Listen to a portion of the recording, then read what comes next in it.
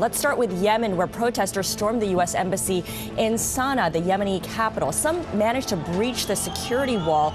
And this is the latest of the demonstrations against the online release of a film produced in the U.S. that mocks the Prophet Muhammad. Over in Cairo, we have live shots for you that show the unrest taking place there in the Egyptian capital. Lots of milling in the streets as well. Riot police earlier fired warning shots and tear gas outside the U.S. Embassy. The president of Egypt, Mohamed Morsi, condemned the attack in on September 11th that killed four U.S. officials.